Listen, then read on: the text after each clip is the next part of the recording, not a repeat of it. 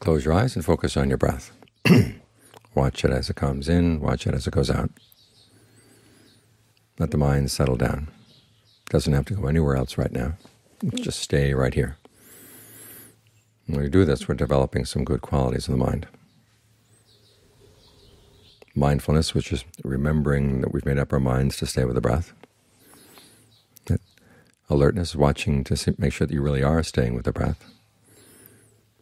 And then ardency, trying to do this well, so that if you notice you're beginning to leave the breath, you bring the mind right back. You notice if the breath is getting uncomfortable, you do what you can to make it comfortable. You want to make this a good place to stay.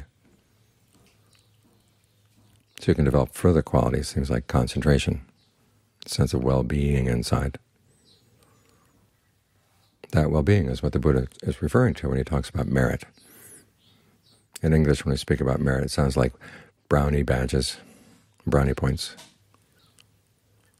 But the Buddha said acts of merit is another word for happiness, the things we do that are good are also the things that make us really happy, in a sense that our happiness doesn't harm ourselves, doesn't harm anybody else.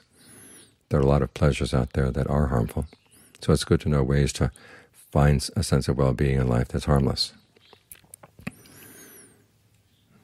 You can do this through generosity, you can do this through observing the precepts, and you do it through meditation. These are the three main ways it's done. All other forms of goodness branch out from those. And the merit is something that is not only good for us, but it's good for the people around us. An old Brahmin once came to see the Buddha. He Says this: the merit that we do and we dedicate to our our ancestors, do they receive it? And the Buddha says if they stay, if they're in an appropriate place, yes. Basically, appropriate place would be among the hungry, hungry ghosts. But also turns out if the devas tell them, and they feel a sense of happiness over your merit, then that becomes their merit. In other words, they approve of what you're doing. That's a meritorious act on their part. That's how merit gets spread around. So after somebody's died, we realize the only way we can get in touch with them is through the currents of the mind.